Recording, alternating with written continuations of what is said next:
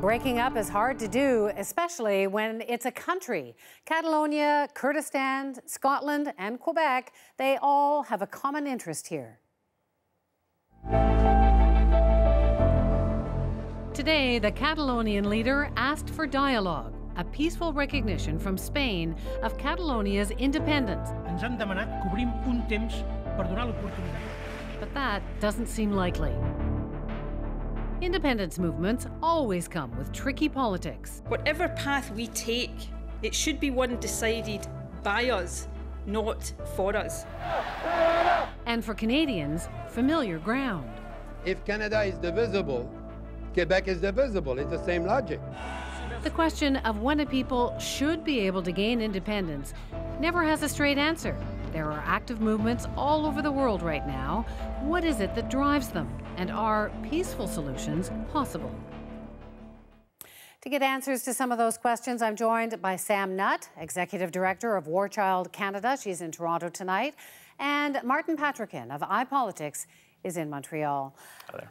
Hi. So, Sam, I'm going to start with you. So, we saw all these expectant people sort of waiting for this Declaration of Independence. It didn't happen. Uh, dialogue instead. What, what's your read on what happened today? Why, why the pullback? Well, Wendy, I think if this wasn't a step down, it was certainly a slowdown. I think it was driven by a number of factors. Uh, obviously, the risk of ongoing violence was a consideration. But we need to remember, too, that about 42, 43% of Catalonians actually came out to vote uh, in this referendum. So that speaks to the legitimacy of the entire process. And in addition to that, we also had uh, EU members, EU partners, and, and other sort of multinational groups that were suggesting that the economic impacts could be uh, could be quite quite significant. And I think that, that those factors combined certainly gave room for pause. Well, Sam mentioned the, the violence, Marty. Uh, yeah.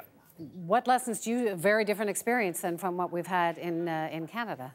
Uh, very, very different. And I would, I would go so far as to say is that I don't think we would have gotten to the point where we did today, where we, you know, got to this 90% and had a declaration of independence when then walking it back from the, from the precipice. I don't think we would have even gotten this far. I don't even think we would have gotten 90% if the if Spain hadn't reacted in the way it did uh, in terms of violence. Uh, you know, uh, everybody everybody has a cell phone these days, uh, and that that footage that came out during the referendum of you know of every regular people going out to vote older old women, old men, uh, getting getting beat down by police, heavy-handed. It's it's basically fuel for the nationalist movement. And this goes. I mean, this isn't the first time that Spain has dealt with this. You know, back in 2014, Artur Mas, uh, the, who organized the, the last referendum.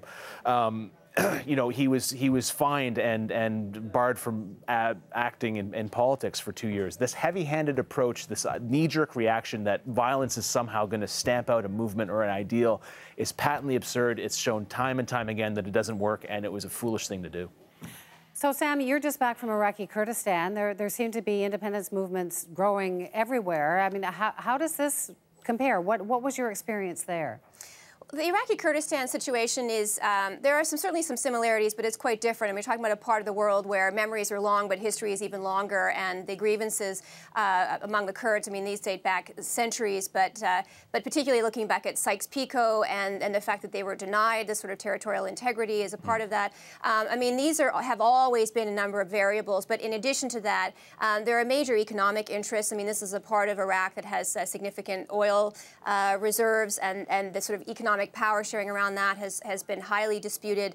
Um, and then you've also got a government, Barzani, who has been uh, faltering in recent years. He's been unable to pay public sector workers' salaries. And so one of the things that we do see with politicians is that uh, separatist movements, this kind of movement to, to find, uh, to have, to achieve greater autonomy, it can add wind to their political sails. And, um, and certainly it becomes uh, one of the ways that they can actually grow their base, maintain some momentum by focusing on on these externalities instead of focusing on their own track record. Any wind in the sails of the Quebec sovereignty movement from this, Marty?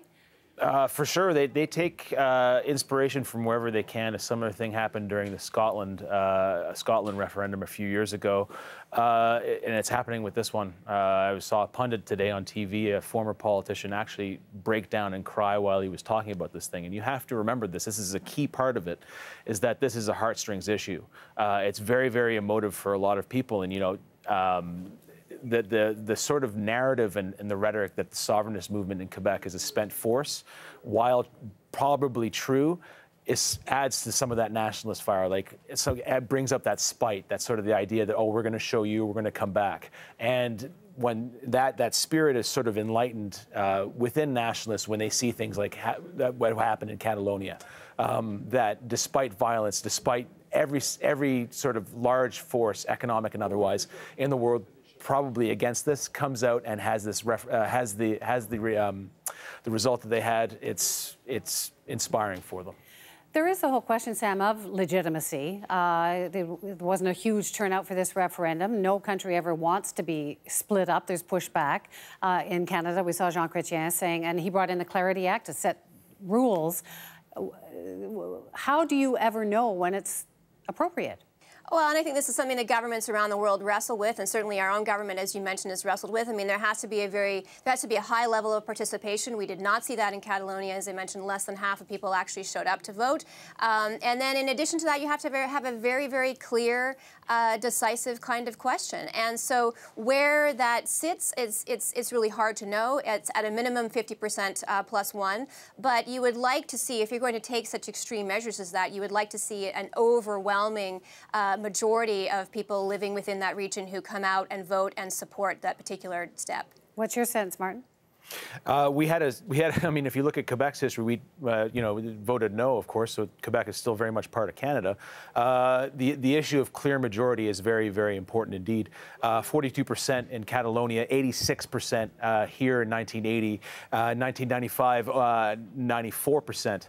Uh, now the the the results of those two I, I would argue that 1980 was actually a clear majority. I would argue that 1995 wasn't. So I think that what exactly uh, constitutes a clear majority is probably somewhere between 50% plus one plus what it was in 1980.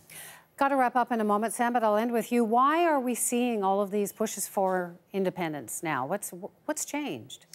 The variables are quite different all around the world, but within the within the EU, for example, the impact of Brexit, of austerity measures, the 2008 economic collapse. I mean, these have all these are have given people a reason to feel very cynical about government, about yeah. their prosperity in the future, and um, and these kinds. Of, it creates a, a, the kind of vacuum that is often filled, easily filled by populist movements, nationalist movements, people who give them that sense of identity, make them feel important, um, make them feel distinct, and uh, and we see that all around the world. We're even seeing it in the United States. I mean, these are the kinds of things that Trump has has relied on to to stoke uh, excitement uh, domestically and to convince people that he's representing them well on the world stage. And um, and unfortunately, it is something that when times are tough.